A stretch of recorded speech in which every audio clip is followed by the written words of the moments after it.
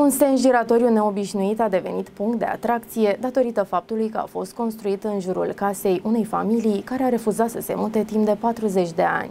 David și Adrian s-au mutat în locuința lor în anul 1960, cu aproape 20 de ani înainte ca planurile de dezvoltare urbanistică să prevadă construirea unui sens giratoriu în acea zonă. Cu toate acestea, viața familiei a fost dată peste cap atunci când autoritățile au decis să construiască un sens giratoriu în jurul casei lor. Cu determinare și refuzând să se mute, soții au rămas în locuința lor în mijlocul acestui inedit punct de intersecție. Sensul giratoriu a fost finalizat în anul 1980, la câțiva ani după moartea lui David David, conform informațiilor. La peste 40 de ani de la construcția sensului giratoriu, acesta a devenit acum o parte distinctivă a proprietății familiei, care cuprinde șapte copii și 12 nepoți care îi vizitează în mod regulat. Cu toate acestea, trăirea în mijlocul unui sens giratoriu vine cu propriile provocări. Membrii familiei mărturisesc că ieșirea din proprietate poate fi o mică provocare, deoarece șoferii nu se așteaptă ca cineva să iasă din sensul giratoriu și tind să ignore locuința familiei. Situația se complică și în cazul livrărilor, unde șoferii se pot încurca și poate dura ceva timp până când realizează că adresa familiei se află efectiv pe sensul giratoriu, nu pe un drum în apropiere. Am ajuns să spun șoferilor, nu, nu suntem lângă sensul giratoriu, suntem pe el, a mărturisit unul dintre membrii familiei. Astfel, familia trăiește într-o locuință care este în același timp partea peisajului urbanistic și o atracție neașteptată, fiind înconjurată de un sens giratoriu care a devenit subiect de conversație și sursă de curiozitate pentru cei